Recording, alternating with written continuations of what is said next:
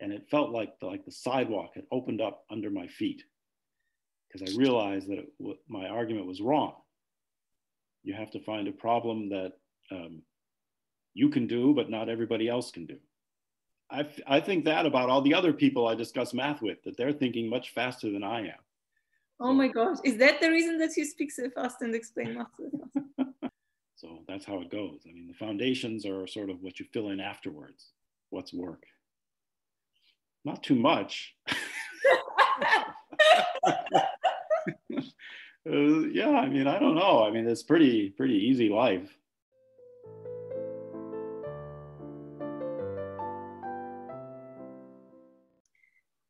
Welcome to Math Life Balance. Today, our guest is Marc Levine, a Humboldt professor at the University of Duisburg-Essen, working in algebraic geometry and motivic homotopy theory, and also my PhD advisor. So welcome, Marc. I'm very happy to see you and uh, to ask to see you too. It's been a while. nice to see you. So I'm, I'm no longer Humboldt professor. That was a temporary uh, notation, but uh, it was fun while it lasted. Oh, sorry. right. um, so may I ask what brought you into mathematics? Oh, yeah. I mean, it goes back a long way. I didn't, I was, you know, as a kid, I was always interested in science more like chemistry and physics and astronomy and that kind of thing. And um, had a great calculus class my last year in high school. It was a pretty intense thing. It was two hours a day, and the teacher was really good. And uh, yeah, he wrote on one of my exams that he hopes I would become a mathematician, which was first uh, thought I had of doing that. And I didn't really uh, think of it at the time, but yeah, I took more and more math courses and just kind of snowballed. It was the, kind of the thing that was easiest for me compared to all the other sciences. So I took physics, biochemistry, chemistry, all those things, and they were all kind of fun. But um, after an explosion in the uh, chemistry lab that I caused, I decided this was maybe not the thing for me. because nobody got hurt, so and um, yeah, just one thing led to another, and then um, yeah. So I mean, it really wasn't until sort of the middle of my uh, PhD studies that I really, some sense, finally decided that that's what I would do. It was always a hesit- hesitation. And I gather that your parents are probably not mathematicians no, no, not at all. No. So how did they react to such a choice? Was oh, they were they were happy about it. I think um, you know the standard wish for some for such a family is that the you know science-minded son becomes a doctor. So uh, that didn't happen, but um, I think they were you know pretty happy with the way my career went. So. And how does your own family perceive your job? Oh, let's see. Oh, I mean, they they you know perceive it at a at a distance. I don't think they really have a clear idea of what's what goes on. You know, they see. I mean, now now we don't travel so much, but before they saw that I was traveling a lot, so they thought that was nice. And um, I mean, it was always kind of mysterious to them what actually I was doing. Would kind of explain it to them, but uh, you know. you try to explain it at home what you're doing, or yeah, I mean, in some vague terms. I don't think they really got it, but that's okay. I mean, they were they were happy with it. They they didn't really need to know everything that was going on. So, you know, they saw they saw I was uh, enjoying it, and they saw that uh, had a good time and traveling, and uh, was you know respectable position and all that kind of thing. So I think they were pretty happy with it. Think my siblings, you know, they they also thought it was nice, you know, because um, you know I'm from Detroit. They all stayed in Detroit. They they left and came back, and I was the only one not to return to Detroit. So that you know is somehow a split in our family, but I think they they looked up to that to some extent. So they thought that was good. Mm, so since you mentioned Detroit, and now you live in Germany, so you, as I guess many people in research, had to move to a different country or even continent. So how, how was that for you?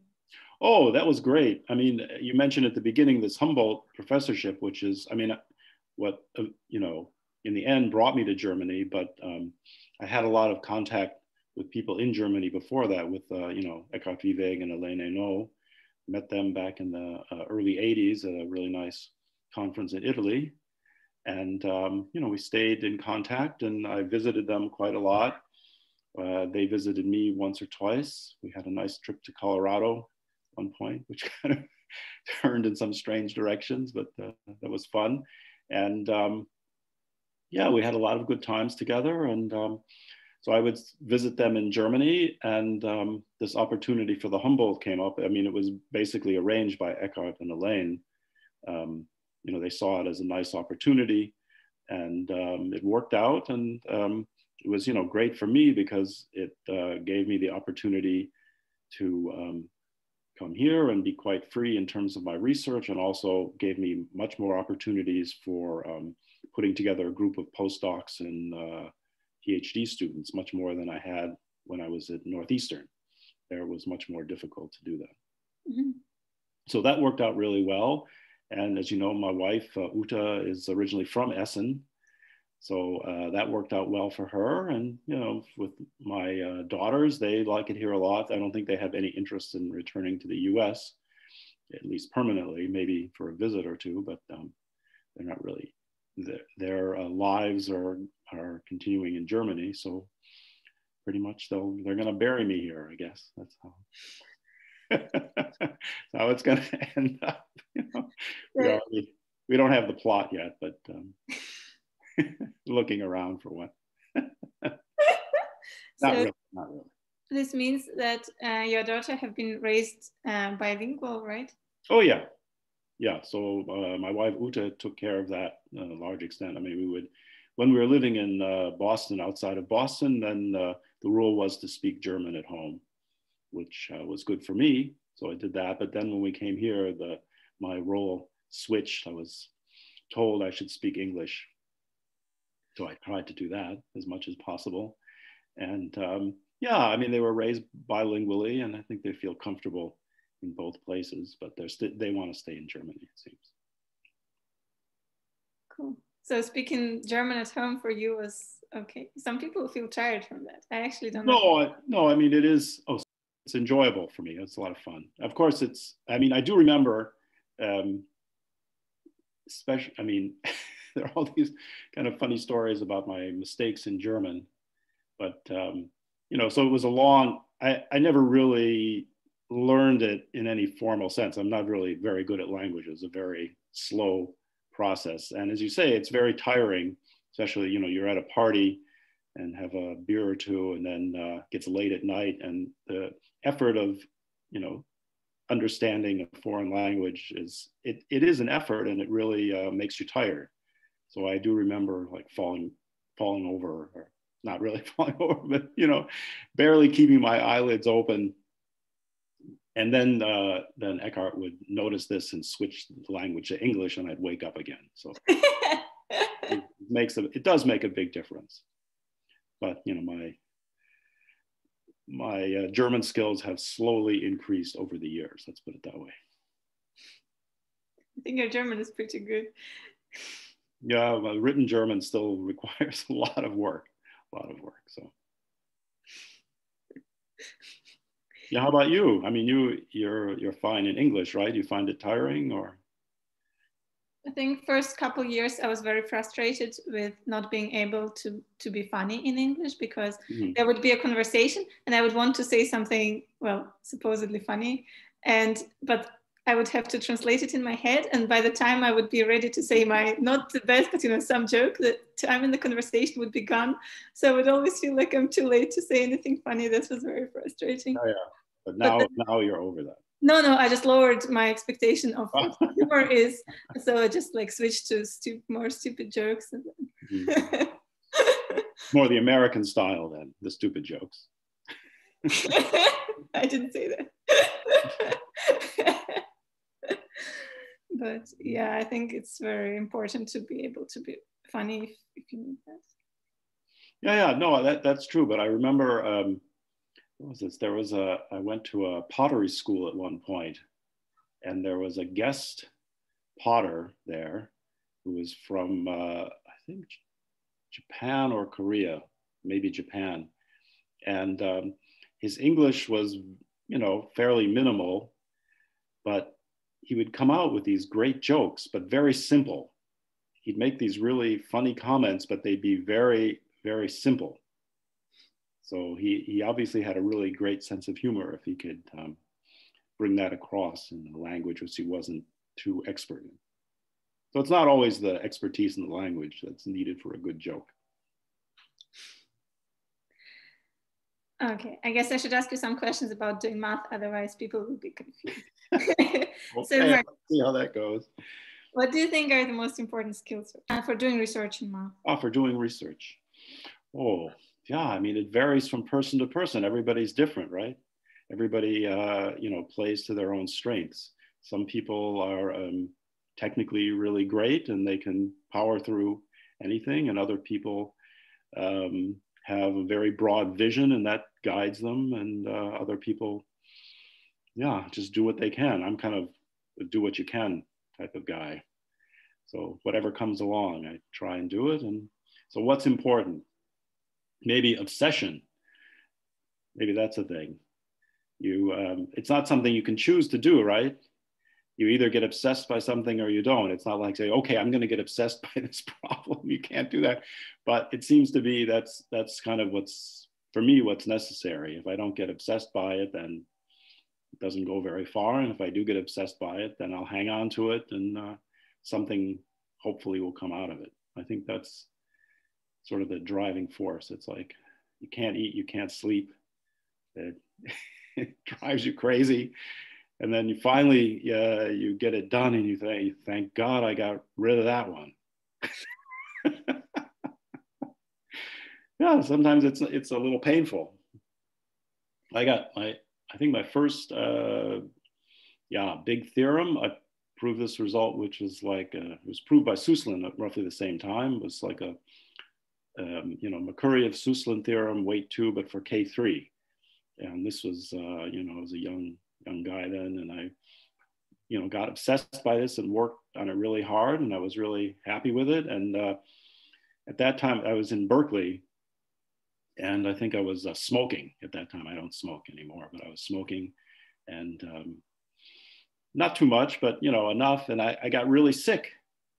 I mean, at the end of it, I was real. I got this uh, close to pneumonia or something, and uh, yeah, so it was, uh, you know, not good for my health. But uh, that's that's what it led to. But you know, I finished the problem. Is there anything that can help one to get into such obsessed drive about a math problem, or just either happens or not? I think it's. I don't know if everybody gets like that. I mean, I know I do. Um, sometimes, not all the time, but um, like I said, I, you can't choose your obsessions. I don't think. It either happens or it doesn't. I mean, it's just part of your personality if you get obsessed about things. I mean, I get obsessed about other things too. It's not just mathematics. If I can't find something, it drives me crazy, right? You can't find your keys or whatever, or that, you know, coffee cup you always use, or and go crazy until you actually find it, right? I don't know if you're like that, but my father is like that. Yeah, see, that's it. It try, you know, it's it's probably built in. as some kind of obsessive aspect to your personality, and it sometimes it's useful, right? I mean, oh, it's very useful to have such a person at home, one person. right, right, right. yeah. Uh, so, Marc, I wonder, you have lots of PhD students and had throughout the years. So would you in general support every PhD student to continue in academia or you would possibly advise against sometimes? Well, I don't know about advising against it. I think there are, I've had students who, um, well, I think the ones that stay with it, I, I think it's good that they stay with it. They're, they've, of course, there's been a big range of people's uh, abilities and skills and what they've done with things. I think some people, um, I've had, you know, pe people who started with me who just didn't finish and went off. And, uh, you know, it's not not for everyone.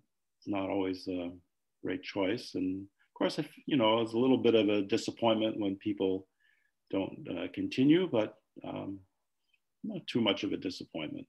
I don't know if I've ever advised people not to go into mathematics.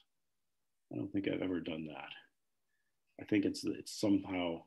I mean, if I don't think anybody's nobody's asked me if they think they should really. Well, people have asked me, and I've encouraged them. Yeah, there've been a couple couple of people who have asked me, and you know, I was happy to encourage them.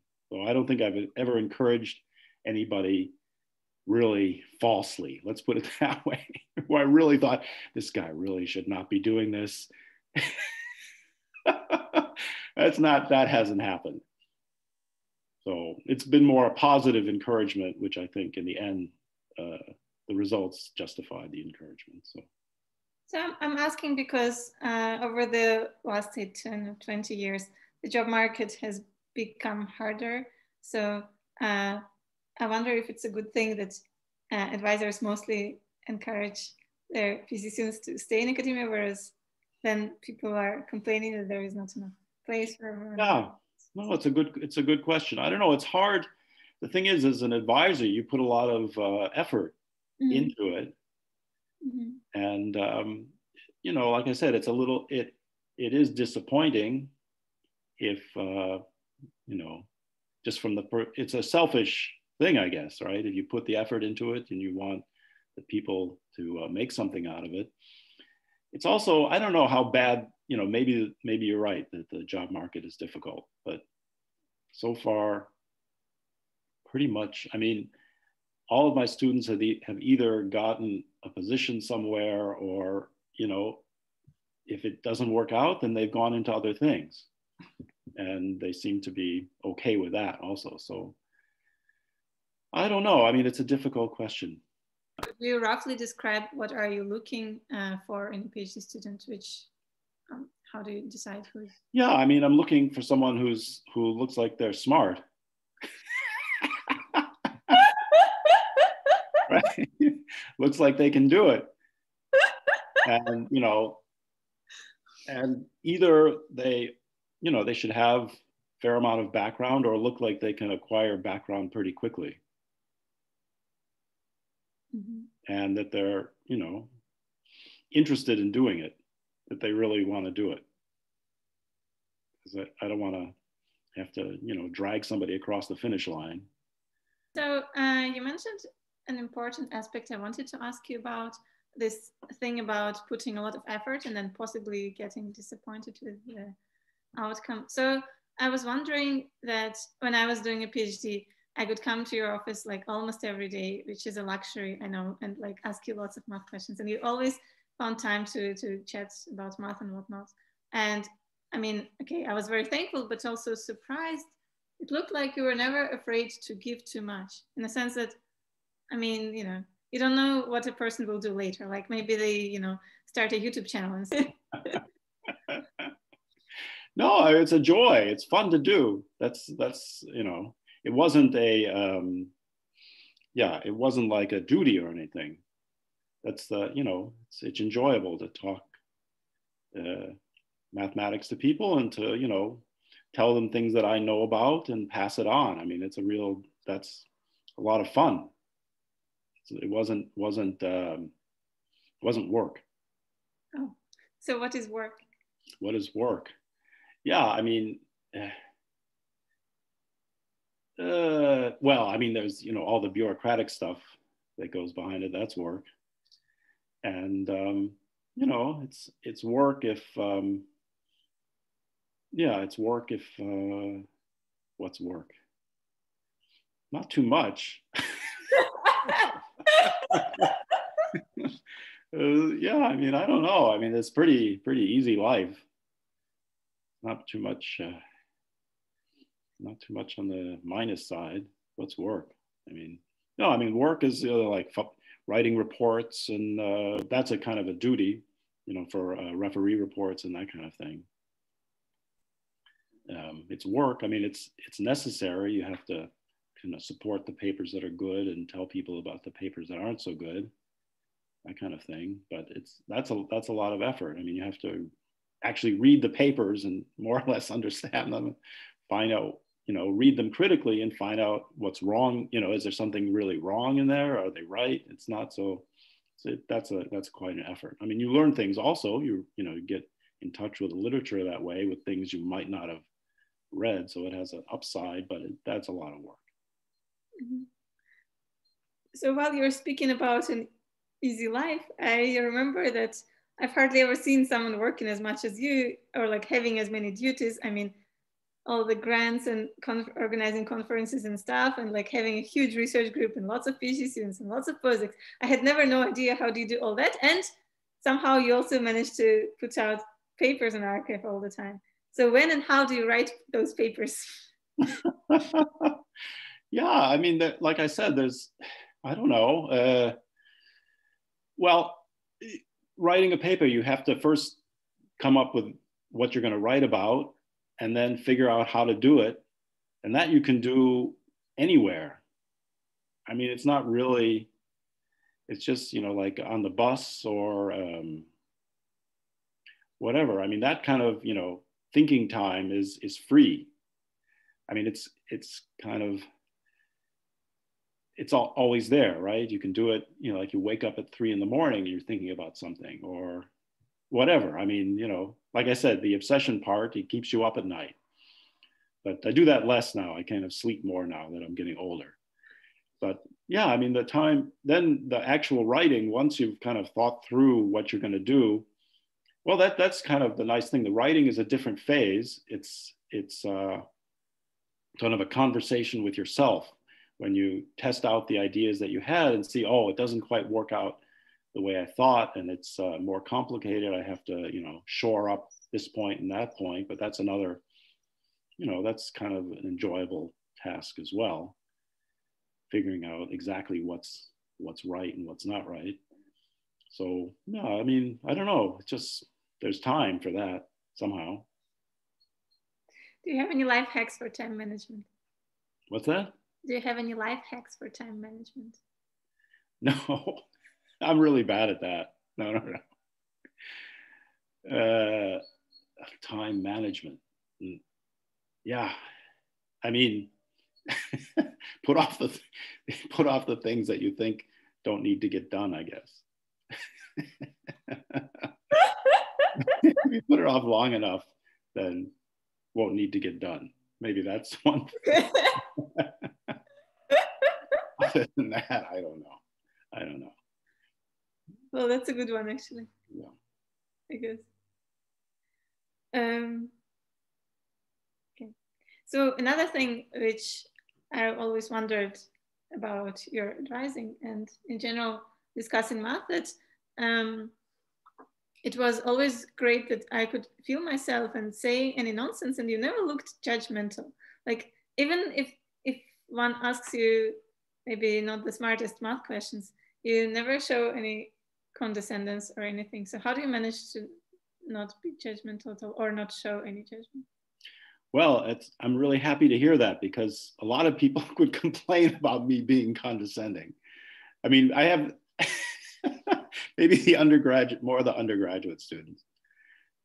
Maybe I, I can't tell you the quote because I once got into a, a argument with one of my neighbors back in uh, Boston, and she came back with um, with quoting what one of my students, you know, they have these online these things on the web where students rate their professors. Yeah.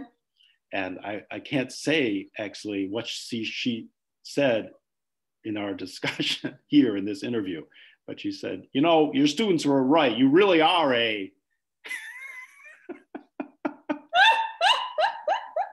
so, yeah, well, so all I can say is I'm glad glad that didn't come across with with you and um, you know anybody certainly at at at a level of a PhD student. Um, all you know, I've never had the case where this where the questions were annoying or anything like that. It's it's they're usually reasonable questions.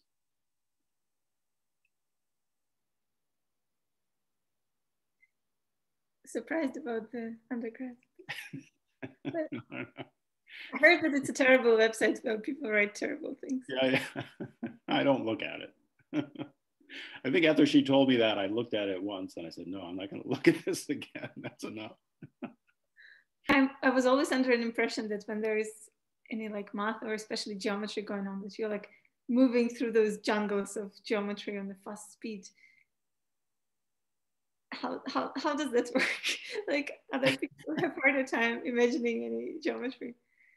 Um, I don't know. It's just a help to how to how to think about things. I mean, in a very vague way. I'm not there. There are people who are much better at algebraic geometry than I am. Certainly, I'm not really an expert in algebraic geometry in that sense. I mean, it's. I mean, some people think in different ways. I guess some people think, you know, in terms of algebra, and um, some people think in terms of pictures. I always I find it, you know, if I can think of a picture of how things work, that guides me to figure out what I have to actually compute more explicitly. Seems seems to be, but I mean, I don't really have any great uh, geometric intuition in the in the deeper sense. Just like you know, curves intersecting in the plane, they they cross at points, or sometimes they're tangent. That's you know, it's a picture. But yeah, I don't know. I mean, that's that's one tool you use to think about a problem. You kind of simplify it and think about it in some kind of picture, and then you can go from there. And you know, certain things like you get used to just working in a certain framework. You know, the framework in algebraic geometry is different from the framework in um, you know differentiable manifolds or something. What what you know usually happens is different in those two different settings. And, you know, after working in an area for a while, you kind of absorb what usually happens and what you can count on and what, what is uh, difficult or what is um, tricky. And, um, you know, it just, after some years, then it just kind of gets into your bones, I guess.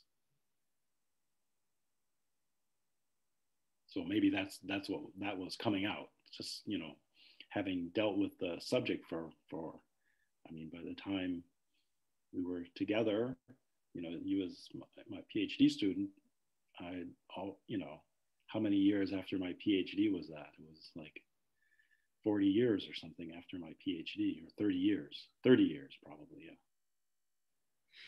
So I learned something in those 30 years. um, well, nevertheless, when you discuss math with other people, I always wondered, do you realize that you think much faster than like an average person you discuss math with? So it's hard for them to follow. oh, no, no, I didn't realize that. No, because I, I think that about all the other people I discuss math with, that they're thinking much faster than I am. Oh my gosh. Is that the reason that you speak so fast and explain math so fast? really? Yeah, oh. I mean, they, yeah, I mean, everybody else, it's I remember like Jerzy Weyman, he would come, we would discuss things and he he's incredibly fast. And he see, you know, maybe it's just that uh, people working in their own areas take a lot of things for granted. I think maybe that's what it is. Terrible, Marc. I thought I was slow. oh my gosh. anyone who has been at your talk is now laughing and crying at the same time.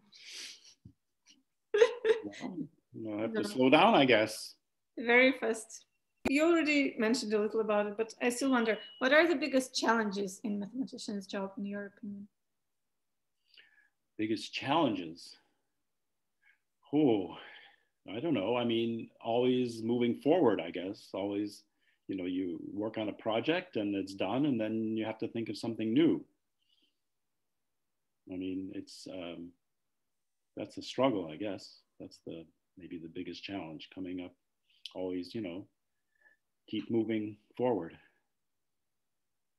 it's not so easy and um, yeah i don't know biggest challenge you have to always prove new theorems i guess that's the challenge have, have you been in a situation where you didn't know what to do next? Yeah, always.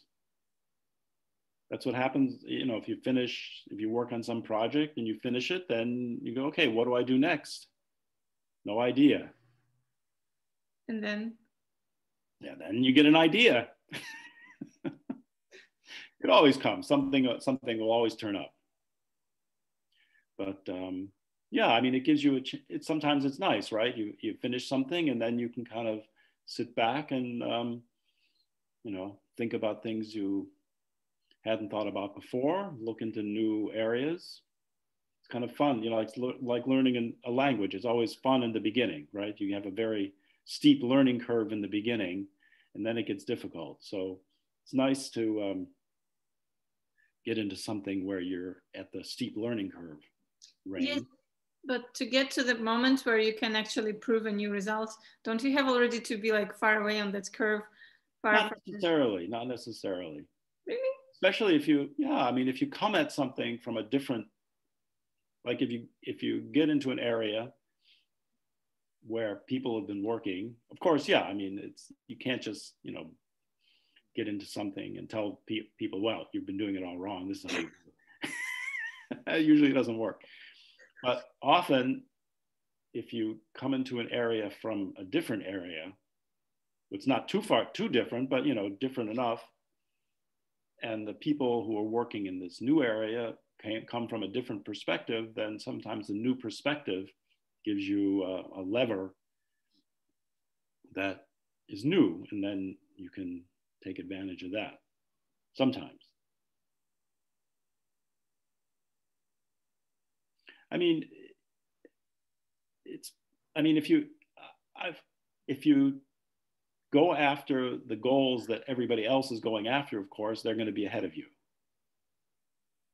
So sometimes you just seek different goals. Right? Think think of questions that other people maybe weren't so interested in or hadn't thought of or just get a new perspective or a different perspective on something. And okay, it may not, not be the problem that everybody is trying to solve, but maybe it's interesting nonetheless. Mm-hmm. So, on the practical level, how does one find the problem? Yeah, exactly. yeah, I mean, you look around, I don't know. Uh, yeah, how do you find a problem? Yeah, it's a good question. That's a problem. yeah, I mean, it's it's not like I said. You know, you can find the problems that have been lying around. Like you could say, okay, I'm going to work on the Hodge conjecture. That's a problem, but um, you know, your chances of success are maybe not so high. So that's that's the problem. I remember this is Maurice Auslander's uh, advice: is that you have to find a problem that um, you can do, but not everybody else can do.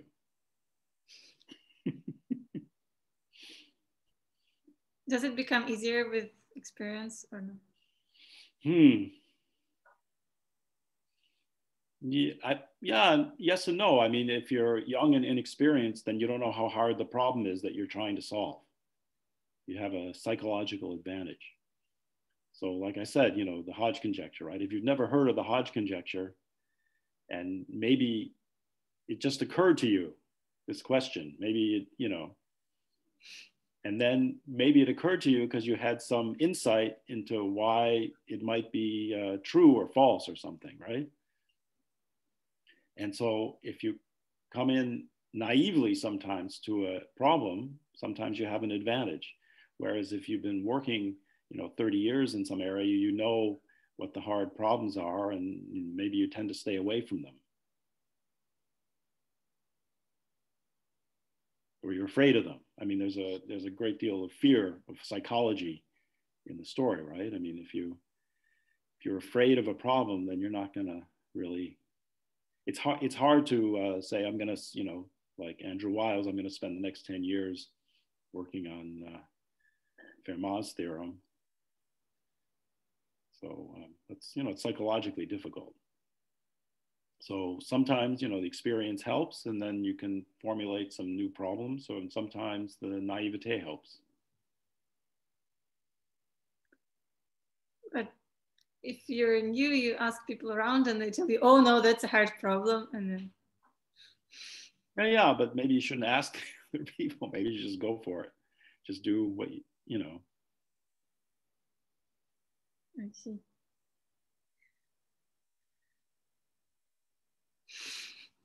I'm now more confused about finding problems than before. Yeah, I mean that's that's a that's really I, I I don't know how to give any advice for that. They just come out of nowhere. Oh, I remember what I wanted to ask. So uh, when you graduated yourself and became a postdoc, so perhaps sort mm. of independent, were you afraid that you wouldn't find enough math problems to work on? Oh, let's see. I have to think back. Um, maybe. I mean, I did change direction quite drastically um, sort of early on. Um, I mean, I, my, my advisor was Matsusaka, and he came out of sort of classical algebraic geometry. Um, yeah, so I don't know. I mean, it was just sort of accident. Then I, um, although we did do a lot in our seminars on, on uh, algebraic cycles and studied a lot of uh, Spencer Bloch's works. And uh, my first job was at uh, UPenn, and um, Srinivas was visiting there, and he was really into algebraic cycles and algebraic K-theory, which I never really had much uh, knowledge of. And um, he's very, you know, engaging guy. He's really fun to talk to, and he got me interested in these things. And he said, "Oh, this is a great area because it's it's new, and so there are lots of easy theorems lying around." So, so that sounded good.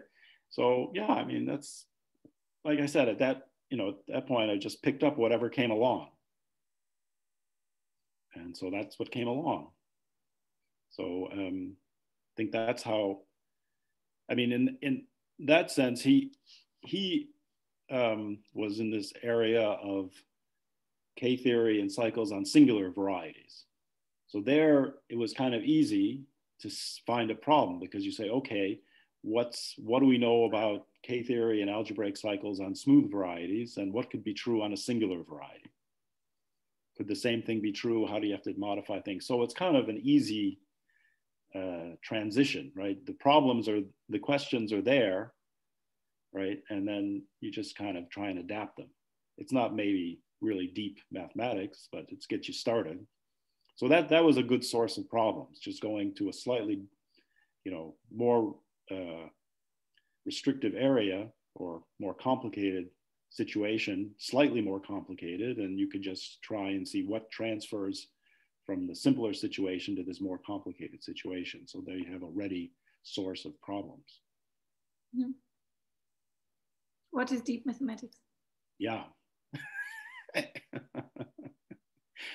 Anything that's too difficult for me to understand.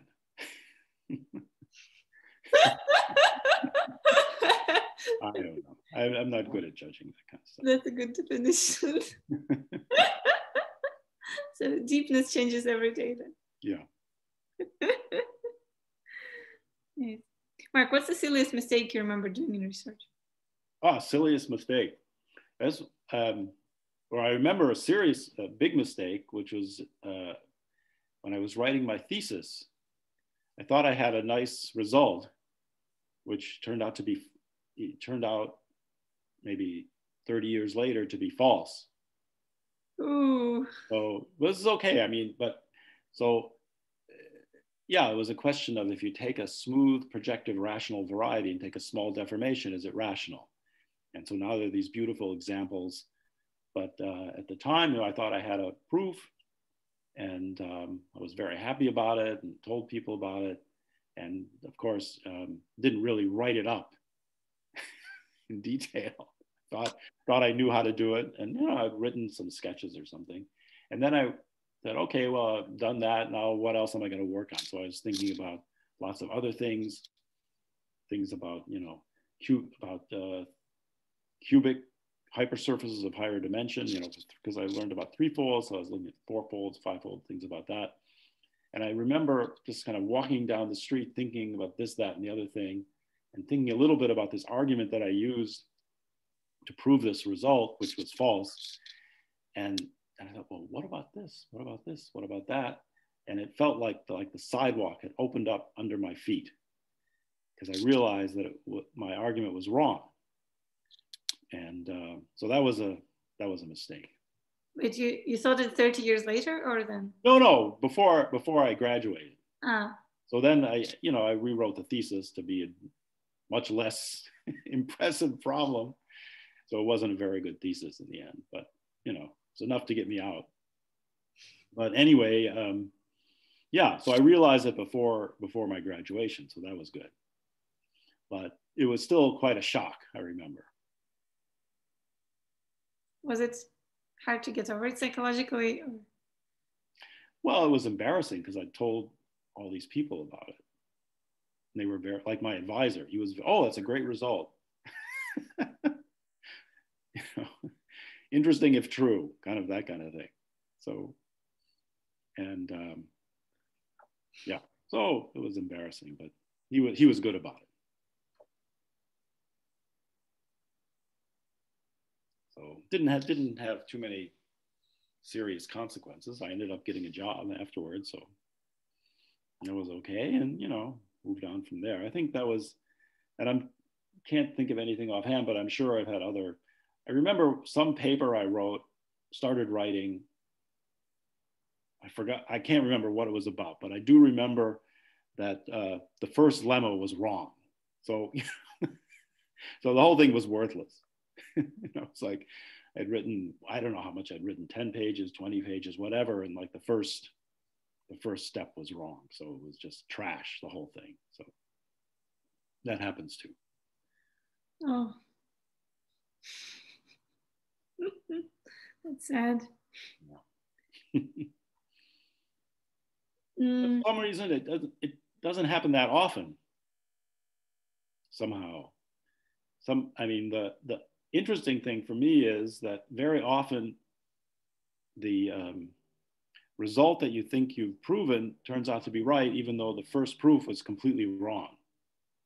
So, so there's something going on there where you um, kind of know that something, you know, for some reason that some some structure is there or something's happening, and then you come up with a proof, and then the proof is like all wrong but then for some reason it still it still works out. That's kind of the miracle. I don't know why that happens. It seems to happen though. Fortunately. I remember someone told a story that um, a more experienced mathematician is asking a younger one when do you think you should submit a paper to the journal? And the younger one says well when you checked and there are no mistakes and the more experienced one says, well, no, that never happens. When you found already three mistakes and it's you still managed to fix them all, then you can still. exactly, exactly. exactly. so speaking of research, Marc, you've been working in motivic homotopy theory, and people find this field quite obscure. Um, so is there any source like a written text that you would recommend if people want to learn the basics?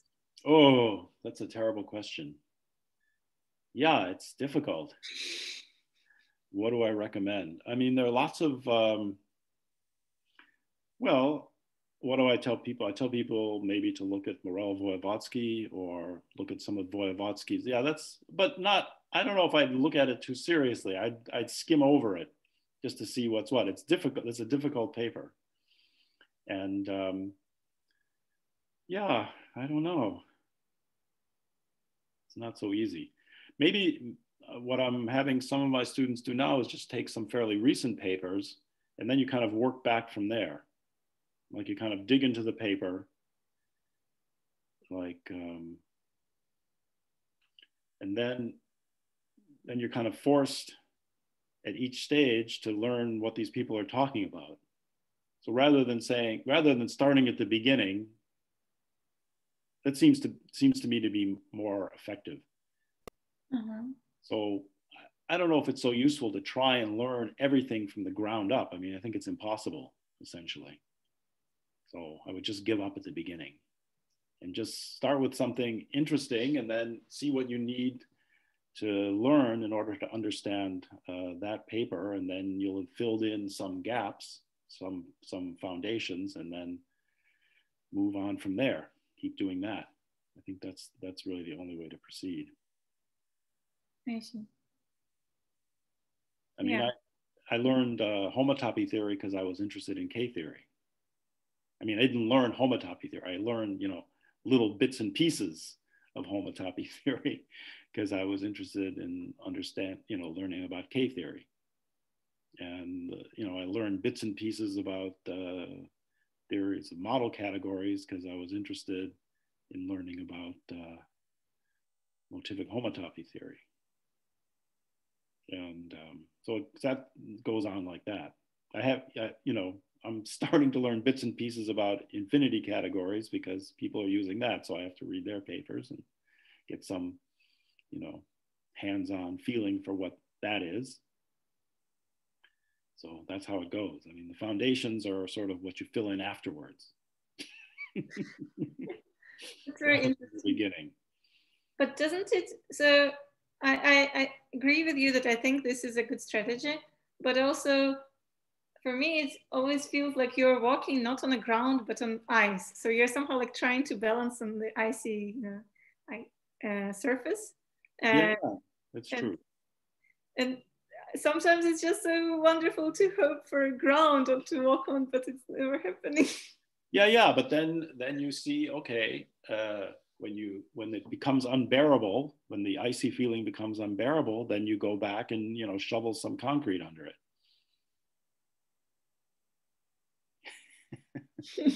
I mean, right? If you feel right, as long as you feel comfortable with working with what you know, then it should be okay. And then, but there'll come a point, like you say, there'll come a point where you say, well, I've been using this all this time. Why, why is this? I have no idea why this works, why this is true. I've just been saying it over and over again. Maybe I should uh, go back and see why this works. Right. So it's a, right. And then you go back and see why it works. So you filled in that, that bit of uh, foundation and then, okay, then you're happy and you go on until you, find you're standing, you know, standing over the, the canyon with uh, only air under your feet, then you have to you have to go back and say, "Oh, I better learn this stuff." That's true. Um, so over the years, you've been observing not only math developing, but also math community perhaps had some changes in which it functions. So would you comment on what you like or dislike about the changes happening? Oh, gee. I mean, this last couple, last year has been so awful in terms of, uh, I mean, the, one of the nice things is, is uh, you know, meeting people, seeing people. And that's been sort of awful this year, but that's not really a development. That's sort of a, you know, catastrophe, which uh, affected everybody, not just math world. So, yeah, what's the development? I mean, of course, when when I got my PhD, life was pretty easy in terms of um, what you needed in order to move on and get a first position and that type of thing. And we didn't really need too much. And I guess uh, fact that people need to have written three papers before they um, finish their PhD in order to get a good position somewhere, it's kind of difficult. Don't scare off my viewers. okay, it's not really, not everybody needs to do that. but um, yeah, sorry. But um, yeah, what's different? Well, yeah, I mean, there's, you know, since I got my PhD, there were several recessions, and each time the job situation would get worse for people coming out then. It was, you know, it was always very difficult when you get your, it's well, in the United States, anyways, when you uh, first enter the job market when you're in the middle of a recession. But somehow it seemed to never get back to the way it was before. It would always, you know, get much worse and then get a little better, and then get much worse again and get a little better. So it's not so nice. Is it also what's going to happen now because of the pandemic crisis? Oh, maybe. I don't know. How can one have impact on the changes in the math community? How can one have impact? Yeah, okay. You have to be interested in having impact. people, some people are really, really take a lot of effort for this. I, don't, I myself don't don't take much effort for this. I have to admit, maybe I'm a little lazy in that regard. So in the you know in the in the political setting, I mean what what you can I mean you can do things in your own little area like try I mean that's what I've tried to do is just try and get enough uh, funding that supports young people. That was the main goal. And so, in that sense, I tried to do things in that regard and didn't really think so much about affecting the, you know, political path or that type of thing. I'm not too adept at that. So I just didn't try because I think I would be pretty ineffective at it. I don't Thank really you for being very effective at supporting young people. yeah, so I tried to do that, and I think that worked out pretty well. You know, in a small, if you look at the numbers of people, it's not so many people, but you know, in a small garden, kind of took care of that to some extent. So that was what I was trying to do in that regard. So it's not it's not a major change in any direction of how society is going, but you know, just within the framework of what's what's here, then I try to do that. Nice. Marc, I have a question for you, which I myself don't know how to answer. So you don't have to say anything either. But um, so well, it's um, I could surely say that you've been a very inspiring PhD advisor, and clearly people would say that you're a very inspiring mathematician. But I wouldn't know how to formulate what is mathematical inspiration. Do you have any clue? Oh, well, well, first of all, thank you very much for saying that. It's nice, nice to hear it. I don't, yeah, but um, what's inspiring? I mean, that's that's the thing. People, you get inspired by people who um, tell you things that are just amazing. I guess, right? yeah. Some, you know, some people I think of like uh, Beilinson or Deligne or just people who have, um, you know, some vision, some broad overall vision of how things fit together, how things should be. Um, that's inspiring, I think. Mm-hmm. You know, people who can who see, uh, yeah, I mean, who can see the. Well, again, uses word deep, but it's when when they say it, it seems deep, I guess. Maybe because I don't understand what they're talking about so that's inspiring also you know people say something that sounds really exciting but you have no idea what they're talking about and that's inspiring because you're inspired to learn what it is they're talking about. Yeah that's true. So who's your hero in math? Yeah i mean uh, i mentioned those. There's the spencer Bloch of course. He's probably the hero.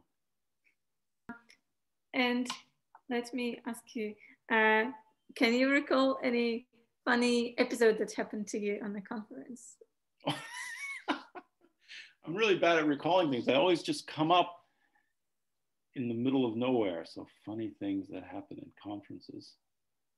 Well, I mean, there there was this nice story about when I first met Eckhard and Hélène. I told you we met at this nice conference in Italy, mm-hmm.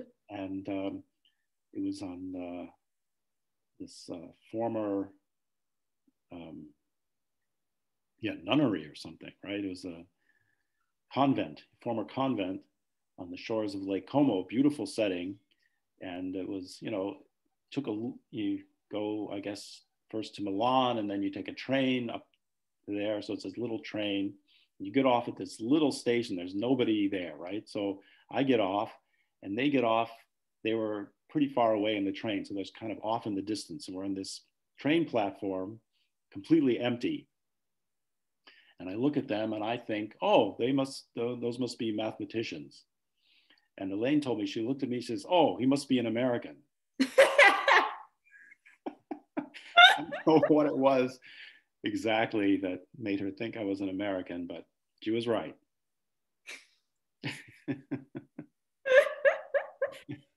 1983, I was probably had a beard and like really scraggly hair at the time. Wow. Yeah, exactly. There's a reason that I don't have a beard now, which is because that's because of how it looked then.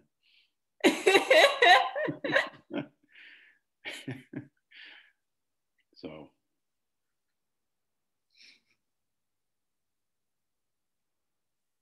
mm, Marc, I don't have many more questions, but uh, can I tell you a story? Sure, love to hear a story. I think so. When I've just okay, stories might be a too, an exaggeration, but when I've just graduated, uh, I was so overfilled with gratitude that I wrote a draft of a letter to you expressing all my gratitude and amazement. And then I thought. Uh, I, I, I, was afraid to look too sentimental or something, so I've never sent a letter. And oh. And but now it's been a year of pandemic. I don't care anymore if something is too sentimental or not. right, right, I, I don't think that kills people anymore. So um, let me tell you a little piece of that. Well, uh, this is going to be embarrassing, but okay. I'll... Oh, well, I'm sorry. oh, for me, not for you. Embarrassing for me, but go ahead. Maybe you find some joy. So what I wanted to tell you uh, like a piece of that was that um, my mom is a language teacher. And so she started teaching me English early on when I was like five or so years old.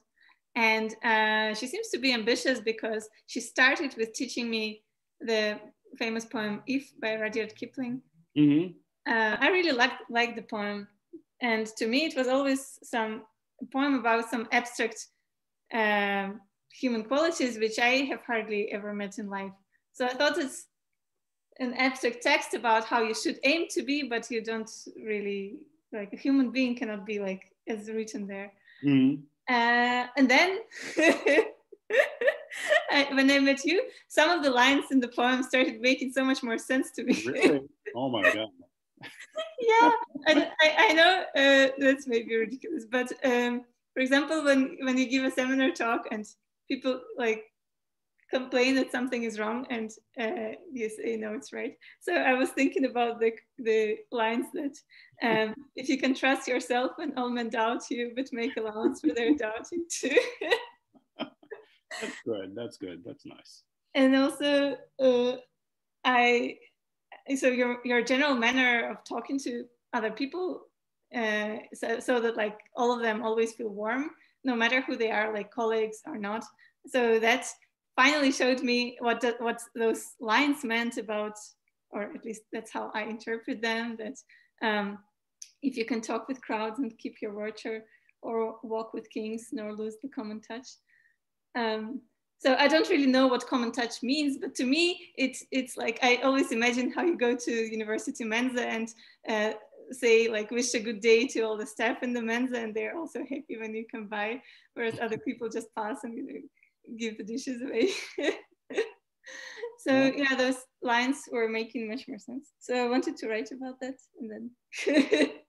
and, well, that's very that's very sweet of you. Thank, thanks for telling me that. And okay, one more minute of your embarrassment is that the the non-written letter was supposed I don't know to start or to end or somewhere uh, there was a quote by Hélène, which I have forgotten, but yesterday I opened the text and I was reminded that apparently Hélène wrote after my graduation that uh, he has never met anyone who would have so much love for their advisor as I do.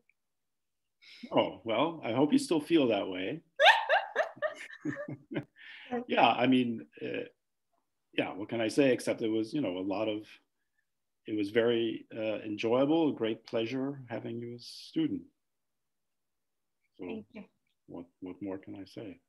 And thank you for suffering through the embarrassment by letting me say what Marc, would you give, um, as the last question, any advice to young mathematicians? Um, advice to young mathematicians, let's see. Uh, yeah, stay with it. Enjoy it. That's the advice.